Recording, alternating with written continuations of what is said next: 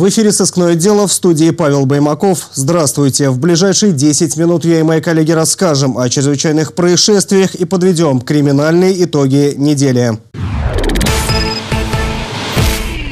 Банду черных риэлторов задержали в Сызрани. По версии следствия, начиная с прошлого года двое мужчин и женщина знакомились с одинокими владельцами квартир, втирались к ним в доверие и переписывали жилье на себя, а в дальнейшем убивали своих знакомых.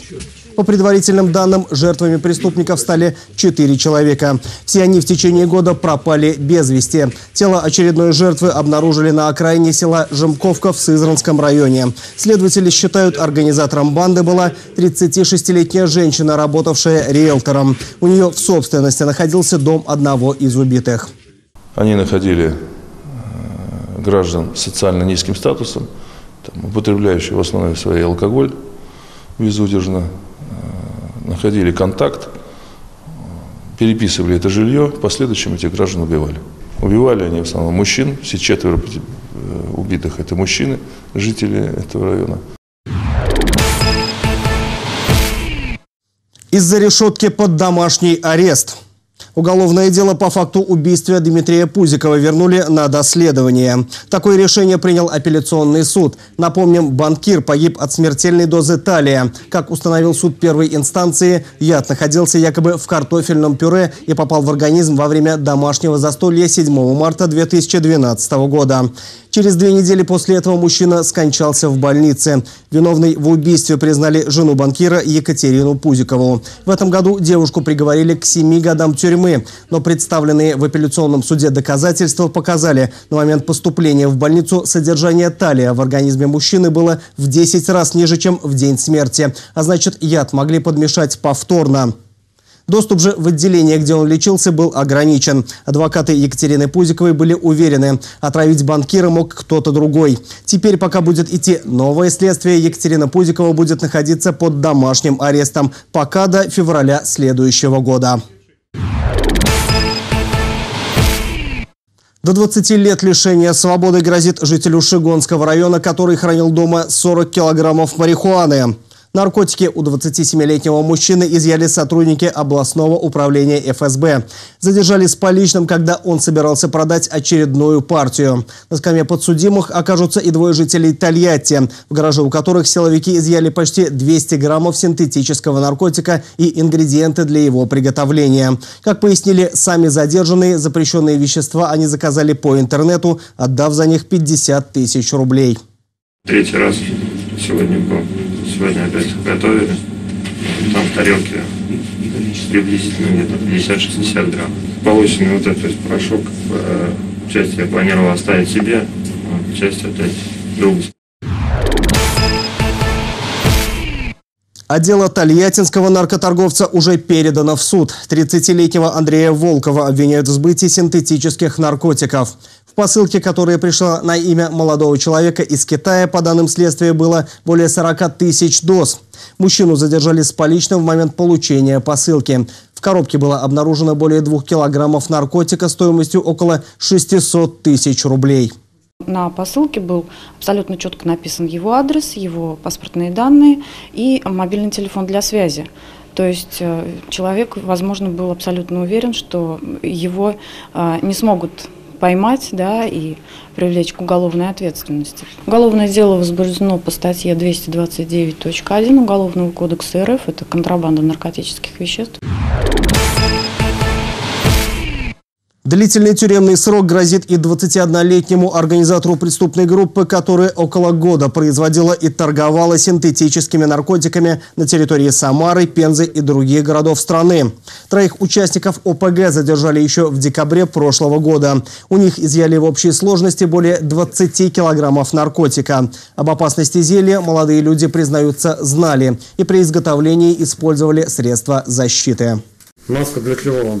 Ну, чтобы нос не попадал. Ну, чтобы никакого эффекта отрицательного не было. То есть вызывает привыкание? Не знаю, ну что, как бы самому это употреблять. Пять человек пострадали в результате ДТП в Самаре. Авария произошла на Южном шоссе. Момент столкновения автомобилей запечатлел видеорегистратор. По данным инспекторов ДПС, женщина-водитель ВАЗовской «семерки» при перестроении из ряда в ряд не справилась с управлением. Машина на большой скорости врезалась в маршрутку, а затем ее протаранил грузовик. Троих человек с травмами доставили в больницу.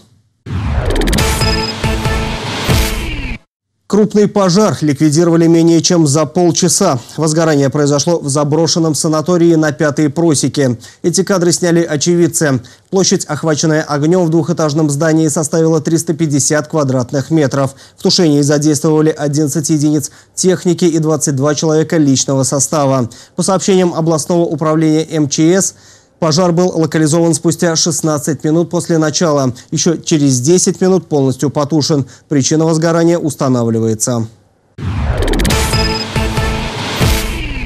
700 килограммов мяса отправится на утилизацию. Продукцию без документов изъяли сотрудники Россельхознадзора. Мясо неизвестного происхождения было обнаружено в салонах пяти легковых автомобилей, остановленных для осмотра на 31-м километре трассы Самара-Большая Черниговка.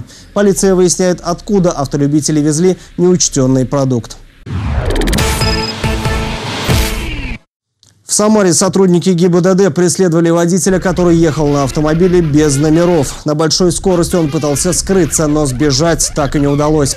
Машину остановили в Бессарабском переулке. Задержанный 29-летний житель Самары ранее уже шесть раз нарушал правила дорожного движения. Мужчину с явными признаками алкогольного опьянения хотели отправить на медосвидетельствование, но он оказал сопротивление и попытался ногами выбить лобовое стекло патрульной машины.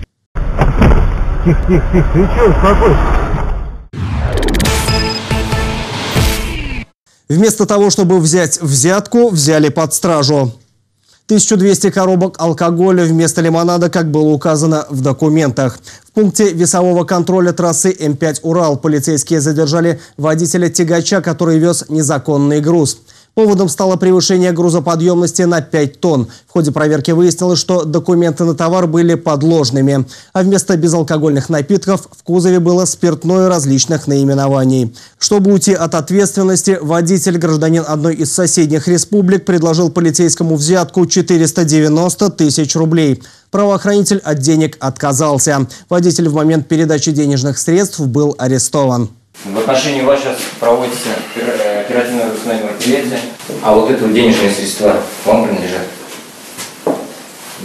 Вам принадлежат, да? Сколько здесь? Вам ранее, ранее поясняли, что это является взяткой должностному лицу при исполнении своих служебных обязанностей? Задержанный признался, что совершил преступление по указанию владельца груза. В тот же день хозяин перевозимой алкогольной продукции был задержан в Тольятти. В отношении водителя возбуждено уголовное дело по статье «Дача взятки». Он находится под стражей. Также решается вопрос о возбуждении уголовного дела по факту перевозки алкоголя по подложным документам. На этом у нас все. Вы смотрели «Сыскное дело». Будьте внимательны к себе и окружающим. До свидания.